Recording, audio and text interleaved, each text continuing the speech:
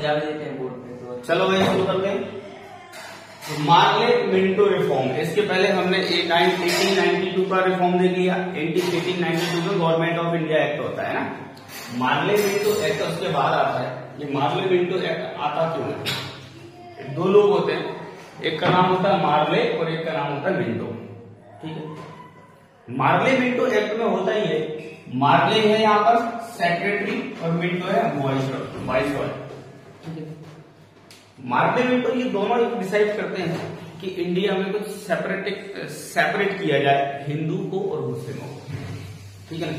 अब यहाँ से दोनों को लड़ाने की तैयारी शुरू होती है। हिंदू और मुस्लिम। तो try to divide a rule साफ़ साफ़ लिखा है मैंने ट्राई हालाँकि ये कोई डॉक्यूमेंट नहीं है। कि आपसे पूछेंगे डिवाइड एंड रूल की कोशिश कब से की है वो मार्क विंडो से कभी क्वेश्चन भी पूछेगा। कि कब की ठीक है ना? तो try to divide and rule कि आप हिंदुत्व और मुस्लिम को बांट दो, ताकि फिर आपस में लड़ते रहे। अब कैसे बांटने का तरीका देखो, कितना गैर तरीके से बांटा। मुस्लिम को सेपरेट इलेक्टोरल बोर्ड दे दिया। बोले, जहाँ मुस्लिम की आबादी ज़्यादा है ना, वहाँ से केवल मुस्लिम चुनाव लड़ेंगे। ठीक है? पिछली वाली चीज़ में हमने क्या देखा था कि हमारे यहाँ पार्लियामेंट्री सिस्टम लगभग स्टार्ट हो गया था। ठीक है ना? 1892 के एक्ट में हालाँकि स्टार्टिंग से चला रहा था। इलेक्शन स्टार्ट हो गया था हमारे यहाँ पे। ब्रिटिश गवर्नमेंट के टाइम पे।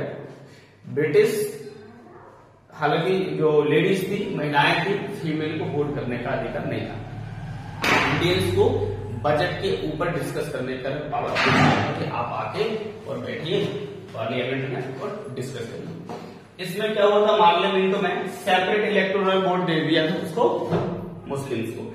अब मुस्लिम उस समय पे ज़्यादा आबादी कहाँ थी मुस्लिम की? जो आज का पाकिस्तान है ना, उस टाइम पे मुस्लिम की आबादी वहाँ ज़्यादा थी। तो बोल दिया कि भाई, ये जो पाकिस्तान वाला रीजन है जब तक पाकिस्तान का नाम जब था नहीं, ठीक है ना? तो बोले, जो इंडिया का वेस्ट वाला रीजन है, वहाँ मुस्लिम की आबादी बहुत ज़्यादा है।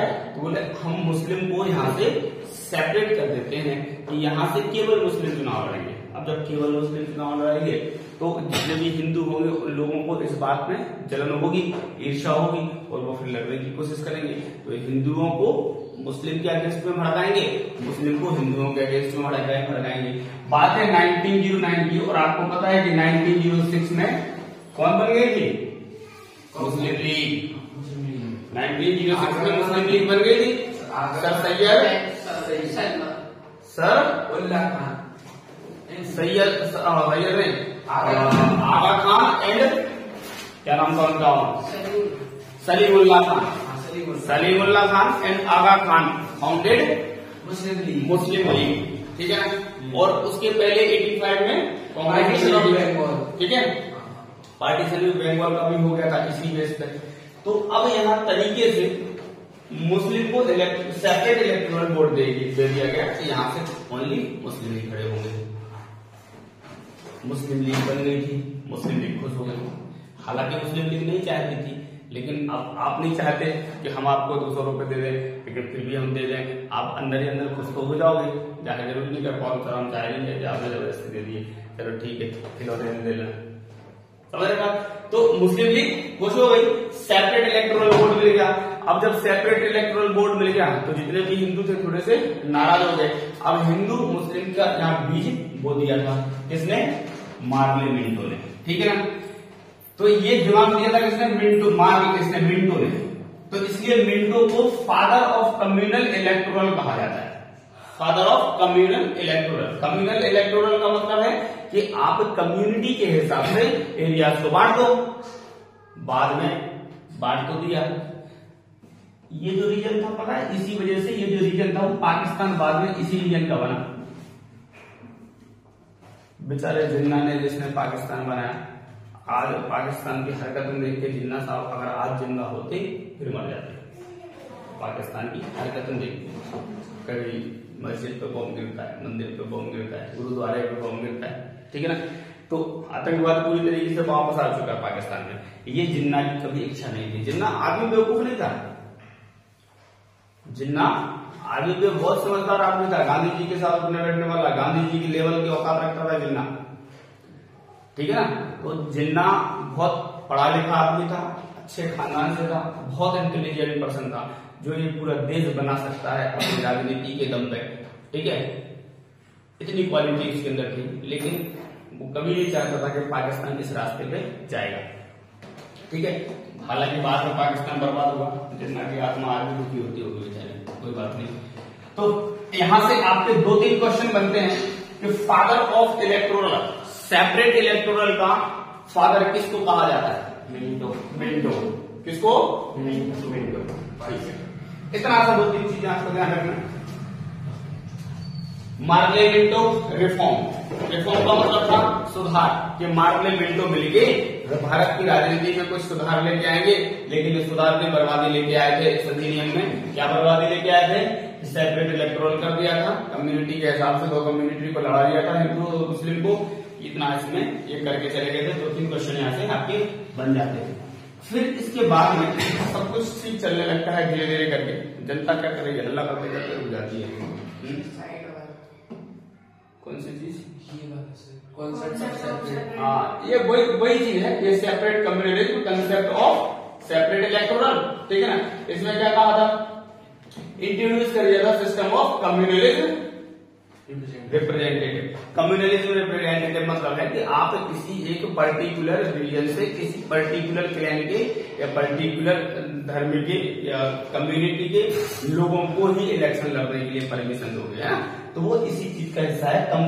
कंसेप्ट ऑफ़ सेपरेट इलेक्टोरल कब आया था? मार्ले मिंटो 19 1909 में। कौन लेके आया था? मार्ले मिंटो मार्ले कौन था? नहीं मिंटो कौन था? कितने क्वेश्चन आपके यहाँ से बने? ठीक है। अब आता है कि गवर्नमेंट ऑफ़ इंडिया एक्ट 1919 बड़ा important act 1919 government of India act 1919 इसमें क्या होता है? अब देखो यहाँ से एक आदत यहाँ पड़ गई। क्या? सेपरेट इलेक्ट्रोल बोर्ड बना दो। काफ़ी फ़ायदा मिला है। हिंदू, मुस्लिम लड़ने की कोशिश की इनको मज़ा आया है।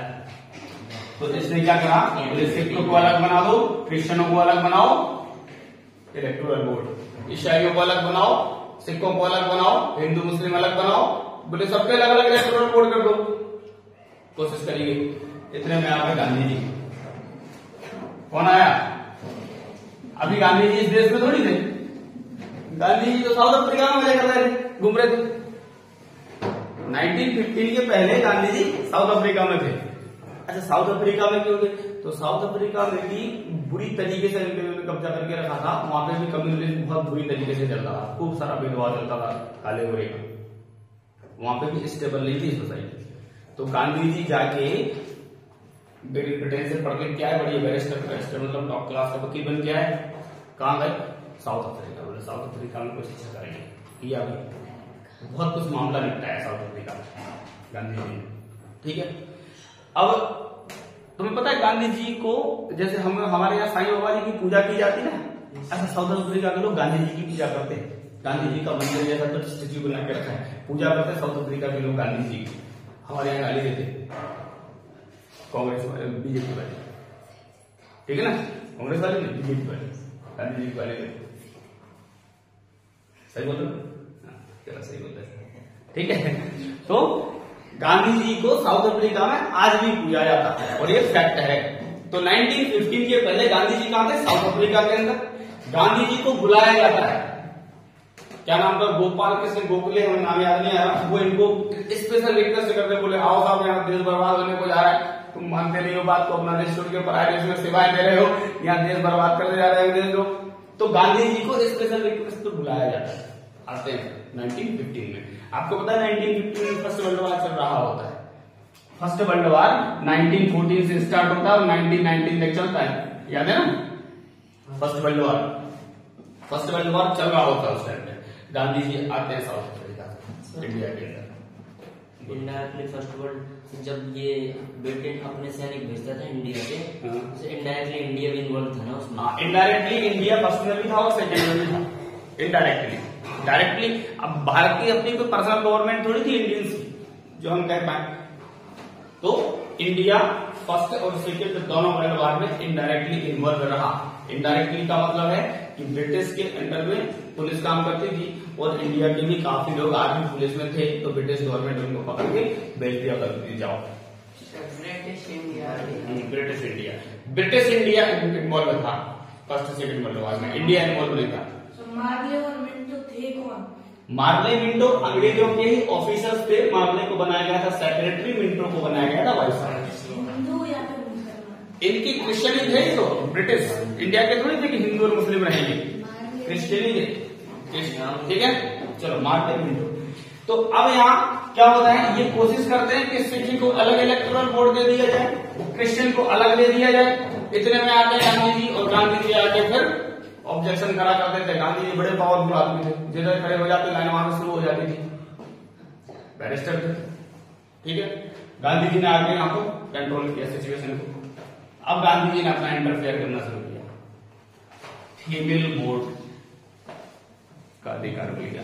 अब महिलाएँ वोट कर सकती थी, चुनाव में वोट डाल सकती थी, पहले भी डाल सकती थी। कहा? इसके अंदर।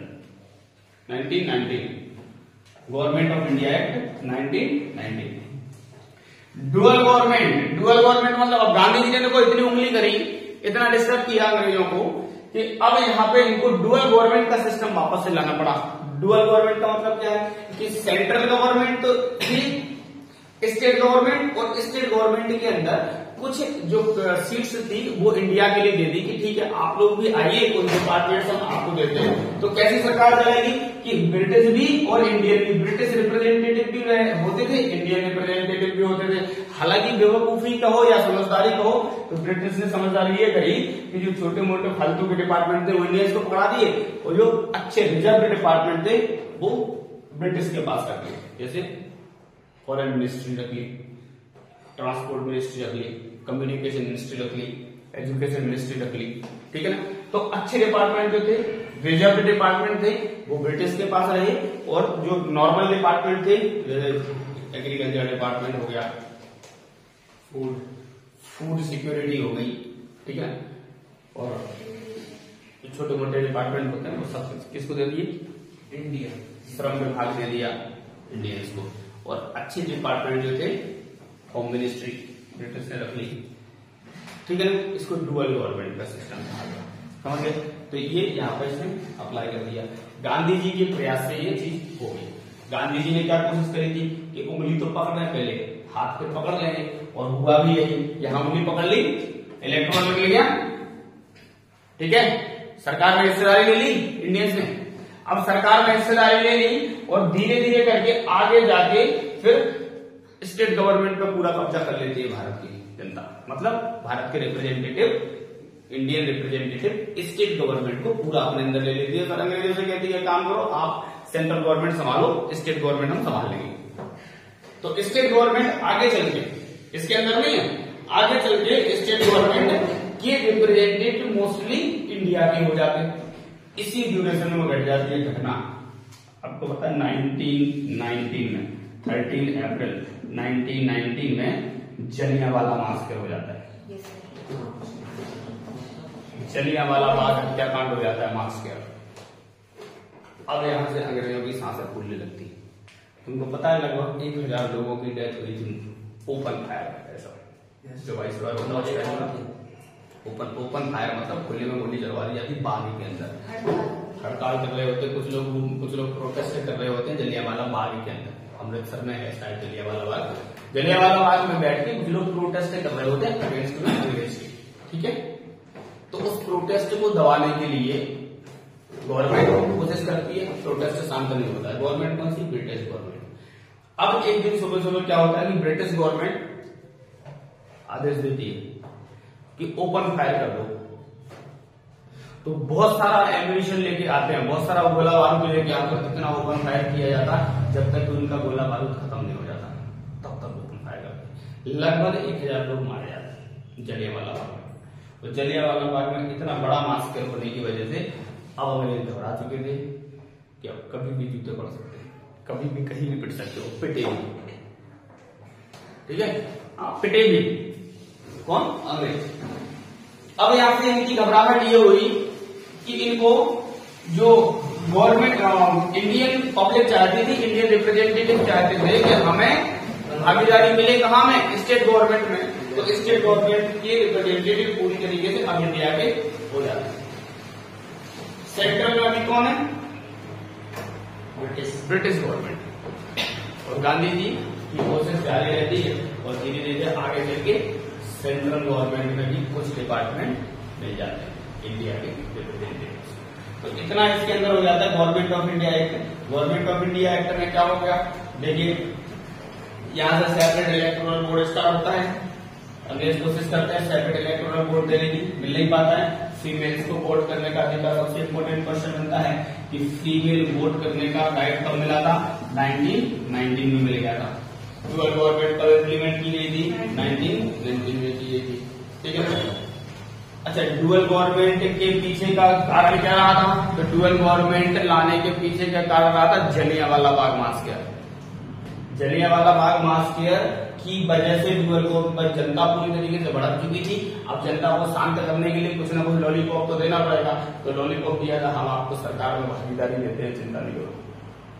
अंग्रेज़ों ने कहा, हम आपको सरकार में भागीदारी देते हैं, चिंता नहीं करो।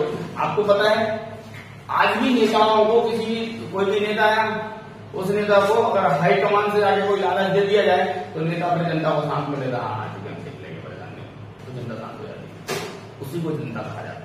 जो दूसरों के हिसाब से चलता है जब जिसको जनता अपने हिसाब से नहीं चलता जैसे आपसे कहा गया, कहा जाए, ऐसा करो, आप ऐसे करते रहो।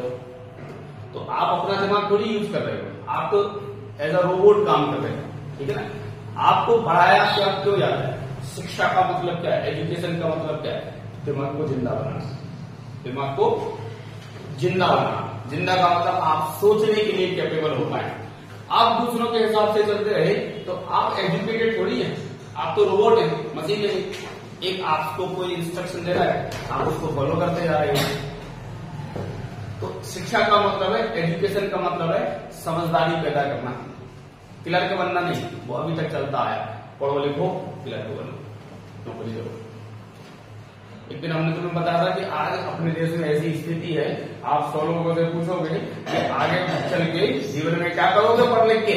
तो 98 से 99 परसेंट जवाब देंगे कलेक्टर बनेंगे मजिस्ट्रेट बनेंगे जज बनेंगे, वकील बनेंगे डॉक्टर बनेंगे इंजीनियर बनेंगे। कोई ये नहीं कहेगा पाँच सौ लोगों को नौकरी देगी। एक आध परसेंट कोई कह दे, पाँच सौ लोगों को नौकरी देंगे। दो हज़ार लोगों को नौकरी देंगे। ऐसी बात बहुत कम करेंगे, एक आध दो परसेंट बाकी कहेंगे नौकरी करेंगे। कोई गलती से कह देगा बिज़नेस करेंगे, उसको एक पता क्या बिज़नेस करेंगे। चल, अच्छी बात है, नहीं पता, बाद में पता कर लेगा।